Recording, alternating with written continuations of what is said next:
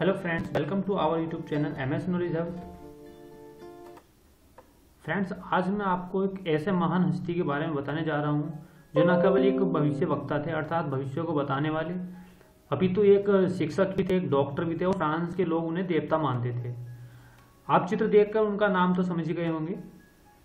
जी हाँ मैं उस शख्स की बात कर रहा हूँ, जिसने अपनी मृत्यु की तिथि भी अपने जीवन काल में ही घोषित कर दी थी। अपनी मृत्यु की तिथि इन्होंने अपने जीवन काल में ही बता दी थी। ऐसे शख्स, जी हाँ इतिहास में इनका बहुत बड़ा नाम है और अब तक इन्हें लोग याद करते हैं। इनकी जो प्रडिक्शन है, जो इनकी जो भविष्यवाणी जो है, वो लोगों में इतनी प्रसिद्ध है बहुत ज़्यादा इन्होंने वर्तमान, प्राचीन समय से लेकर समय तक के बीच में बहुत सारी भविष्यवाणी करी। कुछ भविष्यवाणी इनकी ठीक सिद्ध भी हुई हैं और लोग हर एक इंसिडेंट को, हर एक घटना को इससे जोड़कर देखते हैं। कोरोना वायरस, मोदी और जो मोदी की पॉलिसी है, और जो डोनाल्ड ट्रंप और भी जितने मुद्दे हैं, बहुत बड़े बड़े जो इंसिडेंट होते रहते हैं, उन सभी पर इनकी भविष्यवाणी आई थी। इनकी जो कविताओं का संग्रह है, उनमें इन्होंने डायरेक्टली तो किसी घटना का नाम नहीं लिया, परंतु इन्होंने उस माध्यम से अपनी कविता के माध्यम से बहुत कुछ कह देते थे। उन बातों को अगर डिकोड करा जाए तो वे आज के समय में कुछ एक बातों पर फिट बैठती हैं। तो लोग इसी तरीके से उनकी कविताओं का जो संग्रह है, उसमें से पंक्तियाँ उठाते हैं, और उनकी जो उन्हें डिकोड करते हैं और बताते हैं कि ये जो है उन्होंने जो भविष्यवाणी की थी, वो आज के समय में बिल्कुल सटीक बैठ रही है। तो कुछ एक भविष्यवाणी ऐसी हैं। तो दोस्तों देखो, आज कोरोना वायरस का बहुत बड़ा प्रकोप चल रहा है तो उसके तहत भी इनकी कुछ एक भविष्यवाणी थी, वो मैं बताऊँगा। उससे पहले आज मैं आपको इनके बारे में इनकी पूरी जो एक शॉर्ट डिस्क्रिप्शन देने वाला हूँ, इनका जन्म कहाँ हुआ। तो आइए दोस्तों स्टार्ट करते हैं। फ्रेंड्स मैं बात कर रहा हूँ नास्टडेमस की। तो नास्टडेमस हैं, फ्रांस के एक भविष्य वक्ता थे। अर्थात भविष्य वक्ता मीन्स ये भविष्य को बता देने वाले हैं, भविष्यवाणी करने वाले। एस्ट्रोलॉजर बोल देते हैं। तो ये ज्योतिषी बोल सकते हैं कि ज्योतिषी थे जो भविष्य के बारे में जानकारी देते थे। तो नास्टडेमस जो केवल एक भविष्य वक्ता ही नहीं, बल्कि डॉक्टर और शिक्षक तो थे ही साथ में। अब इनका मैं शॉर्ट डिस्क्रिप्शन बताता हूँ कि इन्होंने उस समय, जब इनका जन्म के बाद की कहानी, पहले इनका जन्म बताता हूँ मैं। आप, इनका जो जन्म हुआ था, वो 14 सितंबर और 1503 अर्थात 1503 ईस्वी को इनका जन्म हुआ था, छोटा सा गाँव था सेंट रेमी जो फ्रांस का ही है। तो वहाँ पर इनका फ्रांस में जन्म हुआ था इनका। और इनका जो नाम था, मिसेल दी नास्ट देमस बचपन से ही इनका जो नाम था। और ये जो इनकी तो पढ़ाई में बहुत ज़्यादा दिलचस्पी थी, मैथ, विज्ञान और ज्योतिषी शास्त्र में ज़्यादा ये अपना अच्छा इनका सब्जेक्ट था ये। इनकी चॉइस थी। ज्योतिषी विज्ञान में इन्होंने बहुत कुछ करा है, उसके बारे में बहुत ज़्यादा इन्होंने पढ़ा है। तो इसी की इसमें इनकी अभिरुचि भी थी शुरू से ही। इन्हें भविष्यवाणी करने का शुरू से ही शौक था, ये इनकी हॉबी थी। उसके बाद जो होता है क्या, ये ट्वेंटी थ्री अक्टूबर पंद्रह सौ उनतीस यानी कि तो पंद्रह सौ उनतीस में उन्होंने डॉक्टरेट की उपाधि ली और विश्वविद्यालय में शिक्षक बन गए। तो ये तो उनका जो करियर की शुरुआत थी यहाँ से। इन्होंने अपने डॉक्टरी की उपाधि लेकर शिक्षक के तौर पर कार्य करना स्टार्ट कर दिया। दोस्तों, ये शिक्षक के तौर पर एक ज्योतिषी शास्त्र थे और साथ शास्त्र जो है चिकित्सा विज्ञान में भी इन्होंने काफ़ी योगदान दिया है। चिकित्सक के रूप में इन्होंने जैसे प्लेग जैसी जो महामारी उस समय हुई थी, उसके बाद में भी बहुत इलाज इन्होंने किया है प्लेग का। और साथ ही साथ इन्होंने जो है गिरोह की स्थिति मौसम और फ़सलों के बारे में भी एक पंचांग बनाया और उस पंचांग में इन्होंने इन सब के जो पूर्वानुमान के बारे में बताते थे कि यहाँ, कि मौसम की स्थिति क्या रहने वाली है फ़सलों के लिए। तो उस समय फ्रांस के लोग इन पर बहुत विश्वास करते थे। और इन्होंने साथ में एक अपने ग्रंथ लिखा, सेंचुरी। और उसके जो प्रथम अभिलेख में इन्होंने ये लिखा था कि जो प्रथम विश्व युद्ध होना है, और उसमें नेपोलियन, हिटलर और कैनेडी जैसे जो संबंध जो घटनाएँ थी, इनके बारे में उन्होंने पहले ही अपने जो ग्रंथ में लिख चुके थे। और इसके साथ साथ अब ये दोस्तों इन्होंने जो है अडोल्फ हिटलर की डेथ और उसके बारे में बहुत कुछ अपनी भविष्यवाणी में करा था। मैं इस वीडियो में आपको इनकी जो सटीक भविष्यवाणी अब तक तो हुई है, उनका भी एक थोड़ा सा वो कुछ एक भविष्यवाणी मैंने नोट की है जो मुझे लगती है कि हाँ रियल हैं। तो वे आपको मैं बताऊँगा इसी वीडियो में। तो दोस्तों, अब देखते हैं इनके जीवन का अंतिम पड़ाव। जब ये ये इन्हें एक बीमारी हुई लास्ट में लगभग जून की बात है। जून पंद्रह में इन्हें एक बीमारी हुई। तो इन्होंने उस समय एक रोग हुआ था। उस रोग का जो इलाज नहीं था। तो इन्होंने उस रोग के कारण इन्होंने अनुमान लगा लिया था कि इनका जो समय वो निकट आ चुका है। तो इन्होंने सत्रह जून पंद्रह ईस्वी में अपनी वसीयत लिखवाई। वसीयत मीन्स इन्होंने जो भी इनके पास अपनी संपत्ति थी, उसे किसे देना है, इसके लिए उन्होंने एक वसीयत लिखवाई। उसके बाद जुलाई के सप्ताह में, प्रथम सप्ताह में जो एक जुलाई को एक पादरी को बुलाया और उससे उन्होंने अपने अंतिम संस्कार की सारी जो जानकारी उन्हें दी कि मैं बहुत जल्दी मरने वाला हूँ। अर्थात उन्हें अपने जून में ही जुलाई में उनकी मृत्यु होनी थी तो जून में उन्हें आभास हो गया था कि मेरी मृत्यु होने वाली है। और एक जुलाई को उन्होंने पादरी को बुलाया और उनसे अंतिम संस्कार के निर्देश दिए कि आप अंतिम संस्कार की तैयारी करें और दो जुलाई को उनका देहांत हो गया। तो ये मशहूर जो भविष्य वक्ता थे, इनका निधन दो जुलाई पंद्रह को हो गया था। दोस्तों, उसके बाद फ्रांस की क्रांति हुई। फ्रांस की क्रांति जो हुई 1789 में 70 1789 में हुई थी। तो उस क्रांति के दो साल बाद सत्रह सौ ईस्वी में तीन लोगों ने नास्टिडमस की जो खो, कब्र थी, उसको खोदने का प्रयास किया गया। तो नास्टिडमस की जो कब्र को खोदा गया जिन तीन लोगों द्वारा तो उनकी मृत्यु तुरंत ही हो गई। ऐसा एक, कुछ मिथक है, फ्रांस का ऐसा मानते हैं लोग, जिसकी कोई रियल स्टोरी तो नहीं है। बट जो वहाँ के लोग हैं फ्रांस के भी को मानते हैं। फ्रांस के लोग जो है नास्टिडमस को अपना एक तरीके से देवता मानते हैं। एस्ट्रोलॉजर जिस तरीके से हमारे यहाँ इंडिया में पंडित को पूजा जाता है, इसी तरीके से हमारे अब भी पूछते हैं। दोस्तों, इस इस समय जो है, भारत में और विश्व में जो नरेंद्र मोदी और कोरोना वायरस और Narendra Modi policy, Donald Trump की पॉलिसी और चाइना की जो पॉलिसी है, इन सबको लेकर बहुत ज़्यादा वार्तालाप चल रही है। एक, ज्वलनशील मुद्दे हैं इस समय ये। तो इनके विषय में भी इनकी कुछ एक जो थ्योरीज थी, आई हुई हैं। इनकी कविताओं में इनका कुछ ज़िक्र है। अब ये जो थ्योरीज हैं, जो फ्रांस के लोग थे और कुछ बाहर के यूके के लोग, उन्होंने अपने अपने तरीके से इनको किया है, क्योंकि इन्होंने डायरेक्टली किसी चीज़ का ज़िक्र नहीं किया इन्होंने कभी अपनी भविष्यवाणी में किसी व्यक्ति का नाम नहीं लिखा कि नरेंद्र मोदी या कुछ भी करके। इन्होंने केवल एक कविता लिखी है, उस कविता का संग्रह बताया कि तीन समुद्र बीच में एक देश होगा, उसमें एक व्यक्ति का जन्म होगा, वो ऐसा। तो इससे लोग अनुमान लगा लेते हैं कि तीन समुद्र से बीच में घिरा तो भारत है उसमें तो मोदी का जन्म तो ये सब लोगों के अपने अनुमान है। कोई बिल्कुल एक्चुअल फैक्ट तो नहीं बता सकता मैं। तो ये अनुमान के तौर पर मगर इनकी भविष्यवाणी बिल्कुल सटीक बैठी है, कई मामलों में इनकी भविष्यवाणी को लोग मानते हैं, इसलिए आज इनका अरुणाचल का नाम भी है और लोग इनका सम्मान भी करते हैं। तो देखिए, अब क्या हुआ? अब उनके द्वारा भारत को लेकर भी कुछ भविष्यवाणी की गई थी। अब भारत की मैंने कुछ एक भविष्यवाणी नोट की है, मैं आपको एक एक करके बताता हूँ। आप इनके बारे में जो भविष्यवाणी उन्होंने दी थी और वो सटीक हुई है। देखिए, सबसे पहले जो है, दोस्तों, ये जो भविष्यवाणी है death of Indira Gandhi death of Rajiv Gandhi, और जो बर्निंग ऑफ़ नालंदा और तक्षशिला यूनिवर्सिटी और हिंदुत्व का जो राइज ऑफ़ हिंदुत्व, यानी हिंदुत्व का उदय, और 1945 में जो जापान का ऑटोमिक बार हुआ था, उसके बारे में इन्होंने एक सटीक भविष्यवाणी की थी, जो बिल्कुल सच हुई। ऑन प्रेजेंट ऑफ़ आवर जो प्रेजेंट हमारे नरेंद्र मोदी जी इंडिया के समय उनके बारे में कुछ एक बातें इन्होंने की हैं। मतलब डायरेक्टली नाम नहीं लेकर लोगों ने उनका जो बातें हैं जो कविताएँ उनकी हैं उन कविताओं को सार निकाल करके नरेंद्र मोदी से जोड़ा है। वो किस तरीके से जोड़ा वो मैं बताऊँगा आपको। और एटलीस्ट uh, जो है अब कोरोना वायरस चल रहा है इस समय टॉपिक तो कोरोना वायरस के भी लोग इससे कयास जोड़ रहे हैं कि कि नाथ डेमस पहले इस चीज़ को बता कर गए थे कि प्लेग जैसी महामारी फिर से आएगी। तो ये सब है। फ्रेंड्स अब मैं आपको बताता हूँ किस तरीके से भविष्यवाणी करते थे, क्या अपनी जो इनकी कविताएँ में क्या ही लिखते थे, जिससे कि लोग उनका अनुमान लगाते थे। तो देखिए, इंदिरा गांधी के जो संदर्भ में जो बात कही गई थी, उसमें इन्होंने लिखा था कि निष्कासित स्त्री फिर सत्तारूढ़ होगी, उसको जो बेरी होंगे, उसके विरुद्ध षड्यंत्र करेंगे, जो दुश्मन होंगे, उसके विरुद्ध षड्यंत्र करेंगे और तीन वर्षों के अपने यादगार कार्यकाल के बाद वे सत्तर वर्ष की आयु के लगभग उसकी मृत्यु हो जाएगी। तो बिल्कुल सेम ये जो थ्योरी है, ये इंदिरा गांधी जी पे फिट होती है। तो लोगों ने लगाया कि ये जो है, जो भविष्यवाणी की गई थी, ये भारत की जो प्रधानमंत्री थी, पूर्व प्रधानमंत्री इंदिरा गांधी जी, उनके ऊपर फिट अब कैसे? ये उन्होंने बात कही थी।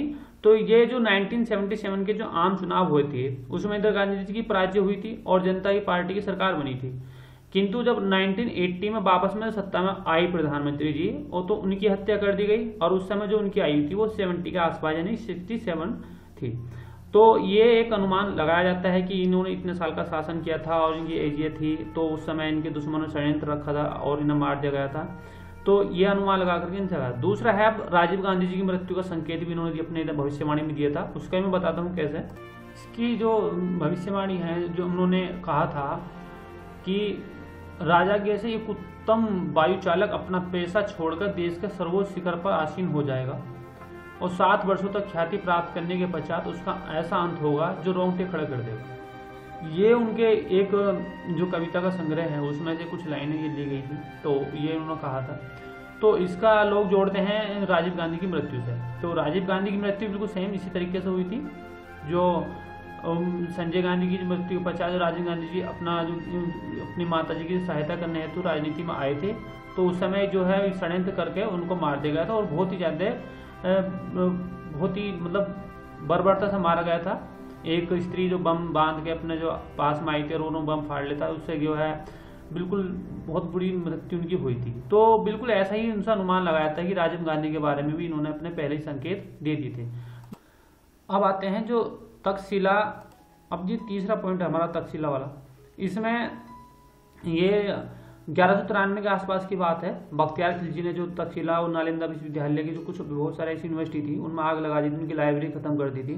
तो उसके संदर्भ में उन्होंने कहा था कि एक ऐसा समय आएगा जब बे पढ़े लोग, यानी कि जो बिना पढ़े लोग, अनपढ़ लोग हैं बे पढ़े लोग पढ़े पढ़ी लिखे की सभ्यता को तबाह कर देंगे। यानी कि जो लोगों ने सभ्यता बनाई थी, पढ़ाई लिखाई की, अपनी लाइब्रेरी, यूनिवर्सिटी खोल रखी जिसमें दुनिया से पढ़ने आते थे यहाँ लोग तो उसे ध्वस्त कर देंगे और पुस्तक वगैरह फूक डालेंगे। ऐसा दुर्लभ ज्ञान नष्ट कर दिया जाएगा, जिसका अधिकांश भाग वापस नहीं आ पाएगा आ सकता। और वो बात बिल्कुल सत्य है। उस समय के जो दुर्लभ ग्रंथ थे जो उस यूनिवर्सिटी में, तक्षशिला यूनिवर्सिटी में थे, वो जल कर राख हो गए। उसके बाद अब तक ये नहीं पता, वो लोग अब तक इस बात को नहीं ला सकते, क्योंकि वो ग्रंथ, वो जो ज्ञान था, वो वापस नहीं आ सकता, वो जल गया। तो बहुत प्राचीन ग्रंथ थे। तो ये इन्होंने कहा था। तो जो बर्बर आक्रमणकारी थे, उस समय भारत में आए थे, बख्तियार खिलजी वगैरह तो इन्होंने विश्वविद्यालय नष्ट कर दिया था। हज़ारों मंदिर लूट के ले गए, महलों को नष्ट कर दिया था। और कई सारे इन्होंने जो मुस्लिम आक्रांताओं ने जो अखंड भारत के आधे हिस्सों में हिंदू के जो बौद्ध सभ्यता को लगभग नष्ट ही कर दिया था। तो ये सब, ये बौद्ध भिक्षुओं का बना हुआ यूनिवर्सिटी थी और ये नष्ट कर दी गई थी। ये भी इसमें ज़िक्र करा गया था, इनकी भविष्यवाणी में, और ये बाद में सिद्ध भी हुआ। एक भविष्यवाणी में इन्होंने जो हिंदुत्व के उत्थान की बात की थी, मैं इसे उससे तो क्या कहा था उन्होंने? देखो, सागर के नाम वाला धर्म चाँद पर निर्भर रहने वाले मुकाबलों के जो चाँद पर निर्भर लेने रहने वाले लोग हैं, उनके मुकाबले तेज़ी से पनपेगा और उसे भयभीत कर देंगे। ये इस तरीके का एक उन्होंने छोटा सा क्यूट दिया था। अब इसमें जो लोग अनुमान लगाते हैं कि जो सागर के नाम पे तो एक ही धर्म है, हिंद महासागर, अर्थात हिंदुओं का धर्म। और इस तरीके से अनुमान लगाते हैं लोग और बोलते हैं कि जो नास्देमस की जो भविष्यवाणी थी, वो ठीक है और जो हिंदू धर्म के उत्थान की बात उन्होंने की थी। अब कितनी इसमें सच्चाई है, क्या है, ये तो मैं देखो नहीं कह सकता। ये लोगों की अपनी किदवंतियाँ हैं। लोगों द्वारा जो उनकी जो भविष्यवाणियों को उनको डिकोड करा गया है। यानी कि मैंने फिर आपसे पहले बता रहा हूँ कि जो भी उन्होंने भविष्यवाणी की है, वो सार्थक सिद्ध हुई हैं बट उन्होंने डायरेक्टली कुछ नहीं लिखा कि कहाँ क्या होने वाला है। किसी चीज़ का अपने उसमें नाम नहीं लिखा। उन्होंने नहीं पता था भविष्य में क्या होने वाला है बट इन्होंने एक घटनाओं को ज़िक्र किया है अपनी स्टोरी में। यानी कि जितनी भी उन्होंने कविता लगी उनमें घटनाओं का वर्णन किया है कि इस तरह की घटनाएँ होने वाली हैं। किसके साथ होने में डायरेक्ट नाम नहीं दिया, बता दिशाएँ बता दी कि वहाँ से होने वाला, उस समुद्र के पास होने वाला। तो ये सब उन्होंने बताया। देखिए, अब जो एक, उनकी भविष्यवाणी ये भी थी कि 1945 में दो ऐसे धमाके होंगे जिसका असर काफ़ी लंबे समय तक दुनिया पर रहेगा। और दो ऐसे धमाके हुए भी 1945 में और अब तक उनका असर भी देखा जा सकता है। तो जो परमाणु बम के जो हमले हुए थे जापान में तो उस चीज़ को इनकी, इस भविष्यवाणी से जोड़ के देखा जाता है, और ये बिल्कुल सीधी भी हुई थी। वो बिल्कुल सही बात थी उनकी अब देखिए, हमारा जो टॉपिक है आज का, वो है कोरोना वायरस से रिलेटेड कि क्या उन्होंने कोरोना वायरस पे भी कुछ भविष्यवाणी की है? तो देखिए नास्टडेमस ने कोरोना वायरस के लेकर कुछ भविष्यवाणी की या नहीं की, इस बात पर भी कुछ बहस बहुत ज़्यादा है, छिड़ी हुई। इस समय बिल्कुल ज्वलनशील टॉपिक है। लोग अपने अपने तरीके से इसे पेश कर रहे हैं। कि उन्होंने प्लेग की तीन बीमारियाँ बताई थी। उसमें से वो जो फोर्थ सॉरी फोर बीमारी बताई थी, उसमें फोर्थ नंबर पर जो एपिडेमिक इस टाइम कोरोना है। तो इसके पीछे बहुत बड़ी स्टोरी है। तो अभी जो, इसमें हाल फ़िलहाल में जो चल रहा है, अब उसमें मैंने कुछ पॉइंट लिए हैं, जो उन्होंने भविष्यवाणी की थी, उससे जोड़ा जा रहा है। तो देखिए मैं बताता हूँ कोरोना वायरस को किस तरीके से इनके भविष्यवाणी से जोड़ा जा रहा है। नास्ट्रेमस ने एक रॉर्ट लिखा था, यानी कि अपना उन्होंने लिखा था 1551 में। यानी कि पंद्रह में उन्होंने एक अपने ग्रंथ में लिखा था कि there will be a twin year यानी कि एक जोड़ेदार दो साल होंगे जैसे कि 2020, 21, 21 इस तरीके से अब 2020 चल रहा है। इसे जोड़ा जा सकता है इससे और राइजेज ए क्वीन। एक रानी का उदय होगा। और रानी कौन है? रानी तो पता नहीं, मगर कोरोना को इस समय रानी मान लिया गया है लोगों ने। और कम फ्रॉम द ईस्ट। और वो पूर्व दिशा से आएगा। तो पूर्व दिशा से आया है वायरस चाइना से। और सेपरेट ए प्लेग। और जब प्लेग की तरह मतलब महामारी से फैल जाएगी, और इसे प्लेग जो माना गया है, वो वायरस है। यानी कि जो कोरोना वायरस है, उसे प्लेग को बताया था कि separate a plague. On a country with seven hill और जो सात पहाड़ियों का देश है, उस कंट्री में भी।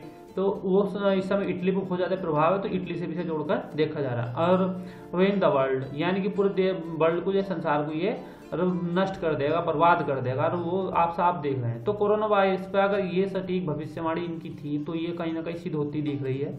और नास्तिदेशम के बारे में जितना कहा जाए, बहुत कम है, क्योंकि ये बहुत बड़ी अपने आप में हर क्षेत्र की जानकारी रखने वाले एक भविष्य वक्ता थे। तो नास्तिदेमस की बहुत सी ऐसी भविष्यवाणी रही हैं। The great fire of London हो चाहे और इस तरीके से अपनी कविता लिखते थे चार चार लाइन की, और इनकी कविताओं का आधार पे लोग लगा लेते थे कि ये कहाँ की है। जोड़ लेते थे इसे। और फिर से सारी इसमें फ्रेंच का रिवोल्यूशन हुआ, नेपोलियन का हुआ। बहुत सारे टॉपिक पे उन्होंने अपनी भविष्यवाणी दी है। और भी जहाँ तक लुइस पाचर का डिस्कवरीज हुई चाहे। और बहुत से टॉपिक थे जिन पर हिटलर से रिलेटेड हुए। तो ये अभी तक जो बिल्कुल ठीक बैठे हैं। तो ये सब इनकी भविष्यवाणी थी। और नास्टिडेमस के बारे में और अधिक जानने के लिए आप जो है, मैं एक लिंक दे दूँगा, आप उस पर क्लिक कर सकते हैं तो इनका पूरी बायोग्राफी आपको मिल जाएगी। तो दोस्तों आप इसकी वीडियो आपको हमें कैसी लगी कमेंट बॉक्स में अवश्य बताएँ और वीडियो को लाइक करें सब्सक्राइब करें। दोस्तों, मैं आपको बताना चाहता हूँ, इस तरीके की रोचक और जानकारी भरी वीडियो में जब समय समय पर लाता रहता हूँ, उसके लिए देखिए दोस्तों, आपको क्या करना होगा। नॉलेज हब है हमारा एम एस नॉलेज हब आप इसमें यूट्यूब के सर्च बॉक्स में जाइए, वहाँ पर सर्च करिए एम एस नॉलेज हब उसके पश्चात आपको चैनल मिलेगा एम एस का आइकन लगा हुआ। यहाँ से आप सब्सक्राइब कर सकते हैं और हम विभिन्न विभिन्न प्रकार की वीडियो समय समय पर लाते रहते हैं। हमारे इस चैनल में जो प्लेलिस्ट बनी हुई है, आप अपने रूप जो भी वीडियो देखना चाहते हैं, चाहे कंप्यूटर से रिलेटेड या जो वर्तमान समय में टॉपिक चल रहे हैं उनसे रिलेटेड या आप जी के हैं, या आप रिक्रूटमेंट से संबंधित हैं वीडियो तो सब आप देख सकते हैं यहाँ पर। सारे उपस्थित हैं। दोस्तों, आप सभी से निवेदन है, अगर आपको वीडियो अच्छी लगे करें तो कृपया शेयर करें आगे तक और चैनल को सब्सक्राइब करें। दोस्तों, किसी भी सुधार, सुझाव या सलाह के लिए मुझे कमेंट बॉक्स में अवश्य बताएँ। अगर आपको लगता है कि यहाँ इसमें कहीं त्रुटि है, जो कि हो सकता है मैं इस बीच में कहीं त्रुटि कर रहा हूँ तो आप मुझे कमेंट में बताते हैं, जिससे कि मैं अपना सुधार करता रहूँगा भविष्य के लिए। दोस्तों, वीडियो को अंत तक देखने के लिए बहुत बहुत धन्यवाद।